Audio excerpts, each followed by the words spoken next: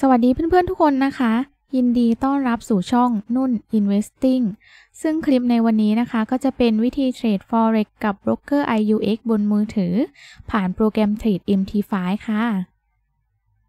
สำหรับเพื่อนๆที่ยังไม่มีบัญชีเทรดนะคะ สามารถกดลิงก์สมัครใต้คลิปนี้ได้เลยนะคะ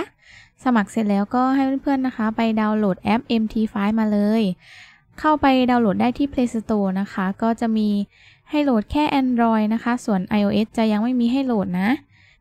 ในส่วนของ iOS นะคะก็จะสามารถเทรดผ่านคอมพิวเตอร์ได้นะ นุ่นก็ได้ทำคลิปสอนไปแล้วนะคะ เพื่อนๆสามารถเลื่อนดูคลิปได้เลยนะ เมื่อเพื่อนๆดาวน์โหลดแอป MT5 มาเรียบร้อยแล้วนะคะนุ่นก็จะพาเพื่อนๆนะ ไปดูข้อมูลที่จะใช้กรอกเพื่อเชื่อมบัญชี MT5 กันนะคะ ก็ให้มาที่ เว็บไซต์ของ IUX Market นะคะ ก็ตามนี้เลยนะ ก็ระวังกันด้วยนะคะ ระวังกดเข้าเว็บไซต์อันที่เป็นของปลอมนะคะ ต้องดูดีๆนะคะ ก็เข้ามาที่หน้าบัญชีของเรานะ กดเข้ามาที่หน้าบัญชีของเรานะคะ แล้วก็เลือกบัญชีที่เราได้เเพิ่มบัญชีเทรดไว้แล้วนะคะ ก็สำหรับใครนะคะที่ยังไม่มีบัญชีเทรดนะคะ เพื่อนๆสามารถมากดเพิ่มบัญชีได้เลยนะคะ สำหรับประเภทบัญชีของ IUX นะคะ ก็จะมีทั้ง Standard Standard Bonus มีบัญชี Raw แล้วก็เป็นบัญชี demo นะคะ แล้วก็สำหรับเพื่อนๆมือใหม่นะคะ ก็แนะนำให้เปิดเป็นบัญชี demo นะคะ เพิ่มบัญชี demo เพื่อทดลองเทรดกันก่อนนะ ของนุ่นนะคะก็จะเปิดเป็นบัญชี Standard Bonus ไว้นะคะสำหรับข้อมูลที่เราจะต้องเอาไปใช้กรอกเพื่อเชื่อมบัญชี MT5 นะคะ ก็จะมีในส่วนของ เลข ID ตรงนี้นะคะ แล้วก็มีเซิร์ฟเวอร์ตรงนี้นะคะ เพื่อนๆสามารถจดไว้หรือว่าเปิด 2 หน้าจอเพื่อดูกันแบบนี้ได้เลยนะคะ กันพลาดนะ ก็ข้อมูลเชื่อมต่อ MT5 ก็จะมีเท่านี้นะคะ เดี๋ยวให้เพื่อนๆกดเข้าแอป MT5 กันเลยนะ กดไปที่แอป MT5 นะคะโอเค เข้ามาหน้านี้แล้วนะคะ ก็ให้เพื่อนๆ กดไปที่การตั้งค่าตรงนี้นะคะ เราก็มากดที่บัญชีใหม่ตรงนี้นะคะ จากนั้นเราก็มากดที่ช่องค้นหาตรงนี้นะคะ ก็พิมพ์ไปว่า IUX Market นะคะเขาก็จะขึ้นมาให้เราแบบนี้นะคะ ก็เลือกเข้าไปเลยนะ อันนี้เรามาดูในส่วนของเซิร์ฟเวอร์นะคะ เซิร์ฟเวอร์ก็จะเป็นตัวนี้นะคะที่นุ่นพาดูเนาะ เพื่อนๆก็เลือกให้ตรงกับตัวบัญชีที่เรามีนะ นี่ IUX Market Live 2นะคะของนุ่น การลงชื่อเข้าใช้นะคะ ก็จะเป็นเลข ID ตรงนี้นะคะ เลข 6 หลักตรงนี้ เราก็พิมพ์เข้าไปนะคะ อันสุดท้ายก็จะเป็นรหัสผ่านนะคะ ก็คืออันที่เราใส่ตั้งแต่เราเปิดบัญชีเพิ่มนะคะ ก็กรอกเข้าไปเลยนะ จากนั้นก็ให้เพื่อนๆ กดที่ลงชื่อเข้าใช้เลยนะคะ อันนี้เราก็เข้ามาที่หน้าบัญชีของเราในโปรแกรม MT5 แล้วนะคะ ก็กดไปที่ไปดูราคาตรงนี้นะ เพื่อนๆสามารถเลือกใส่สัญลักษณ์ตรงนี้นะคะ ก็คือค้นหาคู่สกุลเงินที่เราจะเทรดนะคะ ตรงนี้ก็จะเป็นหัวข้อของ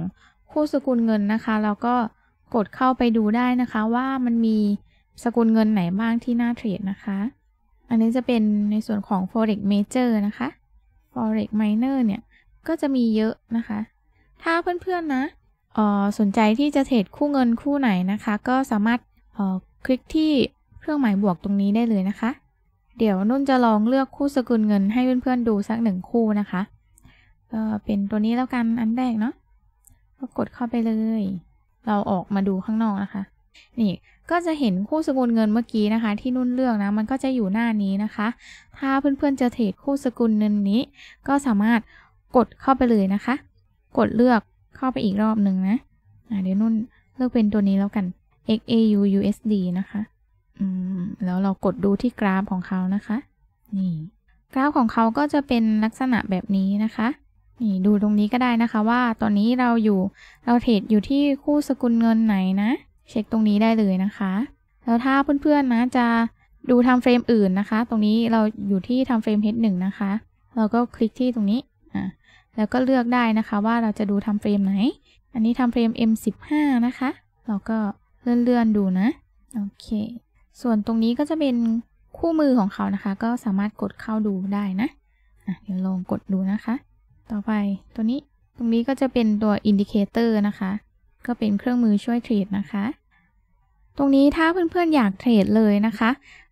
ก็มากดที่ตรงนี้นะ กดเข้าไปนะคะ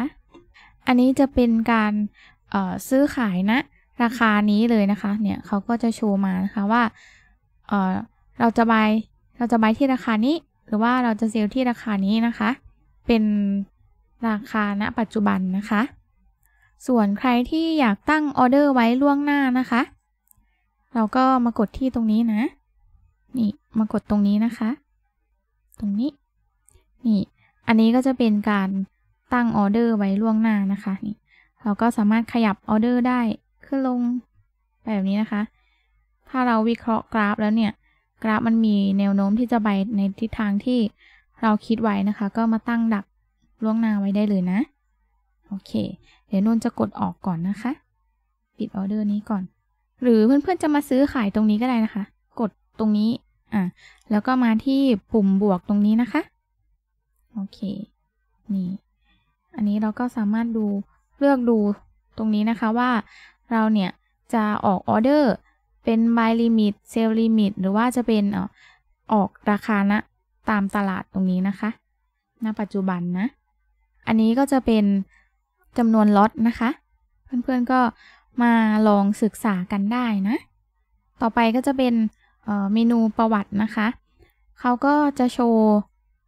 ประวัติ การทำธุรกรรมของเรานะคะ ว่าเราเคยเทรดได้เท่าไหร่เสียเท่าไหร่อะไรอย่างนี้นะคะ มีการฝากถอนอะไรเท่าไหร่ก็จะอยู่ในหน้าประวัติตรงนี้นะคะทั้งหมดนี้นะคะก็จะเป็นวิธีเทรด IUX และวิธีเชื่อมบัญชีกับ MT5 นะคะ ถ้าเพื่อนๆมีคำถามหรือมีปัญหาตรงไหน